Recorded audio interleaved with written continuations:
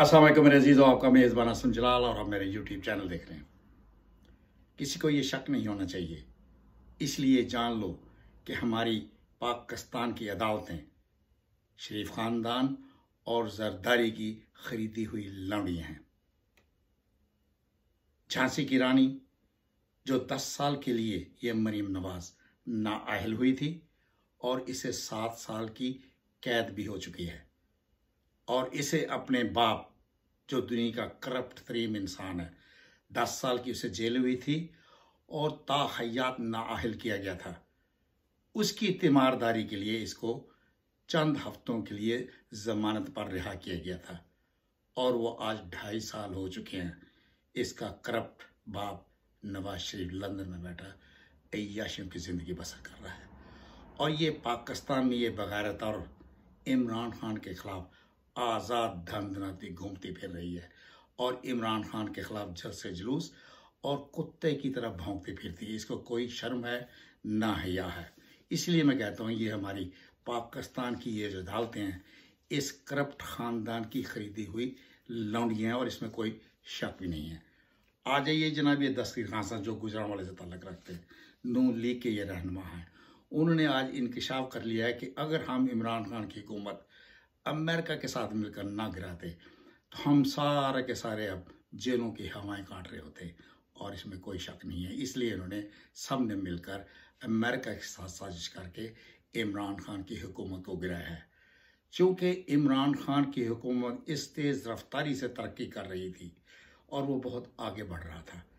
इसलिए इमरान खान को अगले पंद्रह साल दुनिया की कोई ताकत वजारत उजमा से नहीं हटा सकती थी। अब आइए जो मुफ्ता इस्माइल साहब कहते हैं।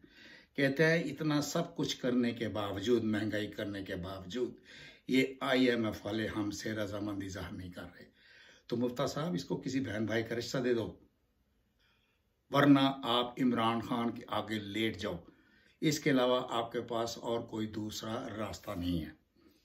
मेरे अजीज़ों, मेरे हम मतलब झूठ बोलने की भी कोई हद होती है। ये जिन लोगों ने कि करप्ट वज़ीर अजम के ज़रिए अपना नाम ई सी एल से निकलवाया है। वही क्लेम कर रहे हैं कि हमने पाकिस्तान को ग्रे लिस्ट से निकलवा लिया है। लांत है तुम्हारी ऐसी सोच पर। तुम ही लोग हो जिसकी वजह से पाकिस्तान को ग्रे लिस्ट में डाला गया था। और ये इस साल का सबसे बड़ा झूठ है कि ये कहते हैं कि हमने पाकिस्तान को ग्रे लिस्ट से निकाला है। अब आइए जना ये जनरल बाजवा साहब। जो भाँग पीकर सोए हुए हैं।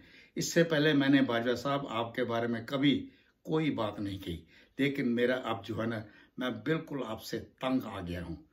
इस कदर पाकिस्तानी कौम जो आपको बहुत प्यार करती थी आपके पीछे जान देने के लिए हर वक्त तैयार खड़ी रहती थी अब आप, आप पर थू थू करती हुई नज़र आती है। क्या आपका ज़मीर कभी नहीं आपने कौन सा शरबत भी रखा है जो आपके ज़मीर को जागने नहीं देता?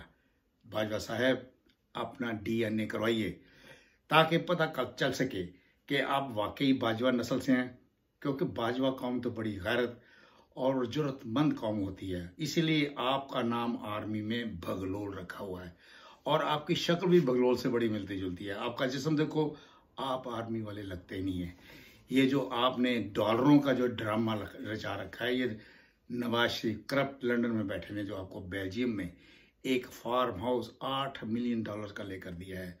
वो आपके किसी काम आने वाला नहीं है, क्योंकि हमारी पाकिस्तानी कौम आपको कहीं भागने नहीं देगी।